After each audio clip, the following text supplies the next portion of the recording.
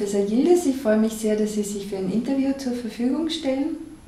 Darf ich Sie ähm, vielleicht als erstes bitten, dass Sie kurz Ihren Arbeitsbereich skizzieren?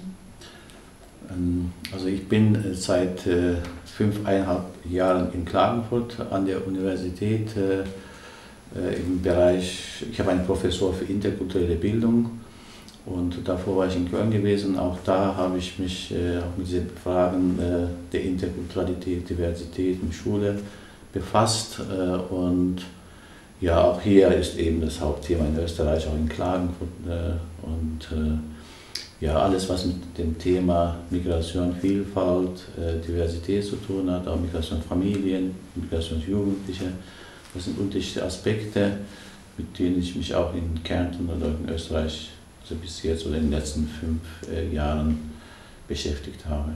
Mhm.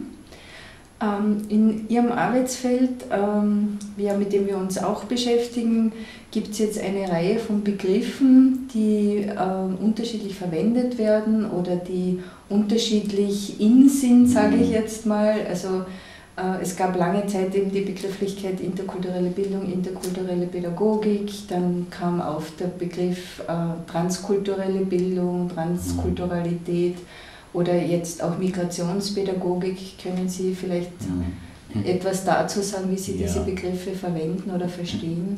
Ja, ich meine, das kann man ja nur historisch äh, verstehen. Mhm. Äh, also äh, man hat ja mit der Ausländerpädagogik begonnen, die ja sehr ja, so problemzentriert oder defizitorientiert war und später hat man eben äh, eine, ja, eine andere Richtung äh, eingeschlagen, in der man gesagt hat, äh, es geht nicht um Defizite, sondern um Differenzen und deswegen die interkulturelle Bildung, das heißt im Mittelpunkt der interkulturellen Bildung stand oder steht immer noch die Differenzen und und interkulturelle Bildung bezieht sich nicht auf die Migranten sogenannten, sondern auf die gesamte Gesellschaft. Das war die Idee mhm. Wobei das natürlich, wenn man anguckt, in den letzten 20 Jahren äh, äh, doch äh, irgendwie stand doch im Mittelpunkt die Migranten, also nicht die mhm. gesamte Gesellschaft, habe ich den Eindruck. Und wobei auch diese interkulturell sehr unterschiedlich diskutiert wird, da gibt es auch wieder Konzepte, die eben wegkommen von diesen Migranten, sondern auch sagen, interkulturell betrifft alle Menschen, die in der Gesellschaft leben. Und dann jetzt gibt es in den letzten Jahren die, die, den Begriff, den Sie auch kurz erwähnt haben, transkulturell äh, oder transkulturelle Bildung, transkulturelle Pädagogik äh, und, und äh, ja, das ist im Grunde genommen, also das ist auch wieder so ein Versuch, wenn man so will, ähnlich wie von der Ausländerpädagogik interkulturell, Versuch, ein neues Konzept zu entwickeln, in dem man sagt eben, transkulturell betrifft alle, aber das wollte interkulturell ja auch. Ja, das mhm. ist, wobei da eben auch die Überlappungen und so weiter oder Überschneidungen von Differenzen eben in den Mittelpunkt gerückt wird und auch die Debatte, die in den letzten Jahren äh, geführt wird zum Thema global, globales Lernen, globale Entwicklungen, dass wir heute eben vor Ort leben, aber viele Elemente, die wir hier im alltäglichen Leben nutzen, die sind eben nicht mehr lokal. Ja. Das heißt durch neue Technologien und Internet und so weiter. Deswegen sind wir alle irgendwie transkulturell geworden. Das ist die Idee, die man hat. Wobei man wieder jetzt, wenn man die Konzepte anguckt, transkulturelle Bildung, gibt es einige Bücher, die wieder doch wieder die Migranten meinen. Äh, meinen. Ja, das ist schon ganz komisch. Ja. Das heißt, die mhm. Begriffe ändern sich, aber die Inhalte irgendwie bleiben doch. Ja. Mhm, okay. Ja. Äh, mir ist dazu noch eingefallen, also ich ähm, habe bei Janet Bennett also diesen Begriff des Constructive Marginal gelesen, mhm. wo, ähm, wo ich für mich so das Gefühl hatte, das beschreibt jetzt jemanden, der eben ähm, nicht unbedingt Migrationserfahrung mhm. hat, aber eben aus verschiedenen anderen ähm, sage ich mal, Minderheitenkontexten unter Umständen kommt, aber das zu einem sehr positiv besetzten äh. Neuen verbinden kann und ähm, hätte für mich transkulturell also dort auch als passenden Begriff gefunden, weil eben sich ähm, viele Personen einfach nicht mehr einer Kultur zuordnen lassen. Mhm. Und wir, wie Sie auch vorher gesagt haben, ja alle einem, einer Vielfalt von Einflüssen ausgesetzt mhm. sind. Ja. Und man kann ja das oft gar nicht mehr zuordnen, was kommt genau. woher. Ja, das ist, ich meine, das, das Problem ist natürlich auf der einen Seite, es gibt eine theoretische Diskussion, die von der, vor allem Wissenschaft vorangetrieben wird, in der eben immer wieder neue Begriffe erfunden werden. Ein anderer Begriff, der natürlich in den letzten Jahren sich etabliert hat, ist der Hintergrund, also Migrationshintergrund. Ja.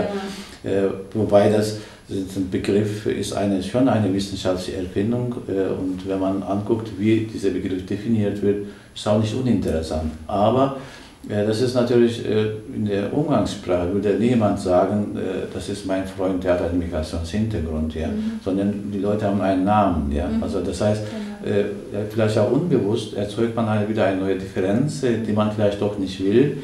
Und überall jetzt ist halt ist man nicht mehr korrekt, wenn man nicht mehr sagt Migrationsgeschichte oder Migrationshintergrund. Mhm. Und äh, das ist ja klar, dann, deswegen müsste man vielleicht dann, das ist ja meine Idee, radikal anderes umdenken und, äh, und sagen einfach, dass wir alle irgendwie von Diversität leben. Das ist ja auch das Motto, äh, das ich vertrete wir leben mit Vielfalt in jeder Hinsicht und wir leben gut damit. Ja. Ein Leben ohne Vielfalt ist überhaupt nicht denkbar. Mhm. Nur das wird nie so richtig so, so zur Kenntnis äh, äh, genommen, weil das irgendwie ganz normal geworden ist. Mhm. Ja, man tut irgendwas und, äh, und, äh, und äh, aber wenn man darüber nachdenkt, dann hat man wieder diese, räumt man wieder auf. Dieser Nachdenken, mhm. Reflektieren hat eine gewisse Aufräumungsfunktion. Mhm. Und äh, obwohl das einfach Diversität auch biografisch. Ja, dann biografisch, wenn man selbst an eine eigene Biografie nachdenkt, dann findet man viele, äh, viele Elemente, die mit, mit Vielfalt zu tun haben. Und, äh, äh und, aber das wird nicht so reflektiert, was als normal wahrgenommen wird. Dann, ja. Das heißt, also für uns, also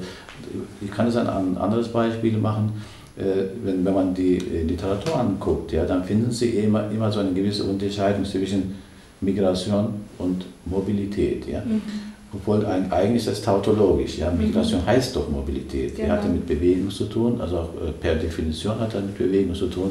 Aber trotzdem wird das eben, die Wahrnehmung ist immer, Mobilität ist, ist was Positives und innerhalb der EU ist das auch gefördert, gibt es viele Mobilitätsprogramme, Erasmus und so weiter.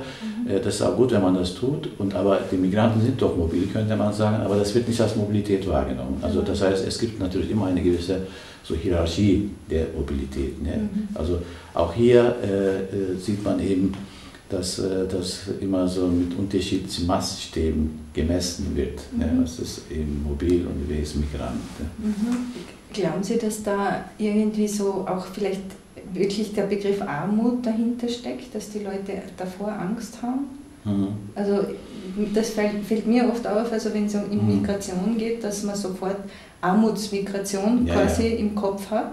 Ja, ich meine, das hat natürlich, vielleicht das ist auch äh, zum Teil historisch bedingt, äh, äh, weil man, wenn man an Migranten denkt, denkt man immer natürlich an bestimmte Migranten, das heißt Arbeitsmigranten, das heißt die, wobei auch die Arbeitsmigranten es, es gibt auch Arbeitsmigranten, die als hochqualifiziert sind, mhm. um die geht es wieder nicht. Ja. ja.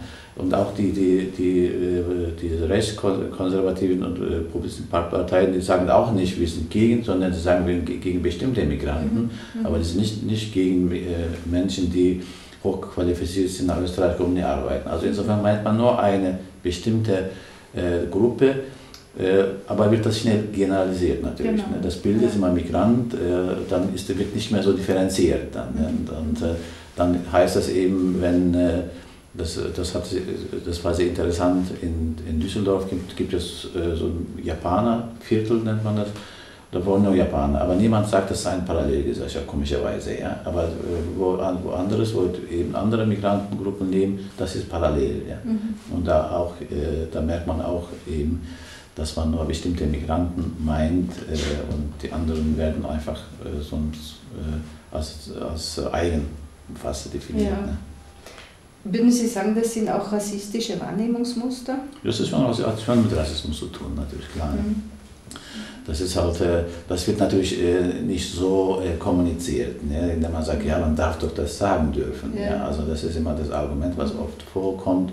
Aber die, diese Hierarchisierung ist ja schon zum Teil auch institutionalisiert. Ja? Das heißt, äh, dieses die Bilder, wie ist fremd, wer ist nicht fremd, wer hat eine Staatsbürgerschaft, wer hat das keine äh, und, äh, und auch wer, wer hat welche Rechte, das merken Sie eben, dass Leute, die, die was weiß innerhalb der EU jetzt, also nicht jetzt Bulgarien, Rumänien, die jetzt in den letzten Jahren diskutiert wird, aber von anderen, die kommen und nach sechs Monaten können sie dann zumindest auf kommunaler Ebene mitbestimmen und mitwählen.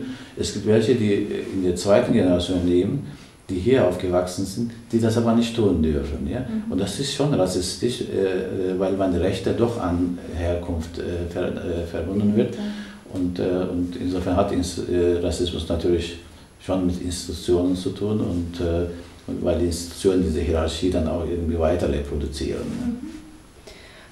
Vielleicht legen wir jetzt den Fokus darauf, Sie beschäftigen sich auch mit der interkulturellen Öffnung von mhm. Institutionen. Was brauchen aus Ihrer Sicht Institutionen, damit das gelingt? Mhm.